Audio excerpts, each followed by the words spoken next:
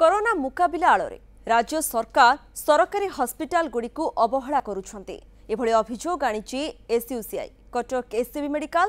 Acharya Harihar cancer medical Shishu Bhawan ଓ city ହସ୍ପିଟାଲରେ ଏକାଧିକ corona ଆକ୍ରାନ୍ତ ଚିହ୍ନଟ ହେବା ପରଠାରୁ ସ୍ଥିତି ଜଟିଳ ହୋଇ ପଡ଼ିଛି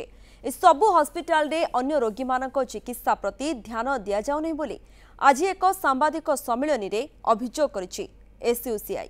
তবে সমস্ত সরকারি ডাক্তারখানা স্বাভাবিক ভাবে পরিচালনা করা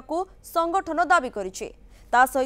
প্রত্যেক ডাক্তার নর্স এবং স্বাস্থ্যকর্মী লাগি আবশ্যকীয় সুরক্ষা সরঞ্জাম আদি যোগাই দেওয়া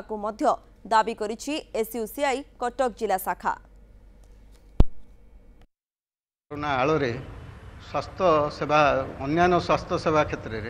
সম্পূর্ণ একদম মানে সরকার ঠপ করে দিয়েছেন কটক বড় মেডিকাল আচার্য হরিহর কর্କଟ କେନ୍ଦ୍ର ଏବଂ ଶିଶୁ ଭବନ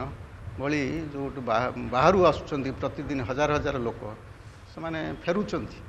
ଚିକିତ୍ସା ହୋଇପାରୁନାହାନ୍ତି ପରିସ୍ଥିତିରେ ଆମେ ଦାବି କରୁଛୁ ଶୀଘ୍ର ସରକାର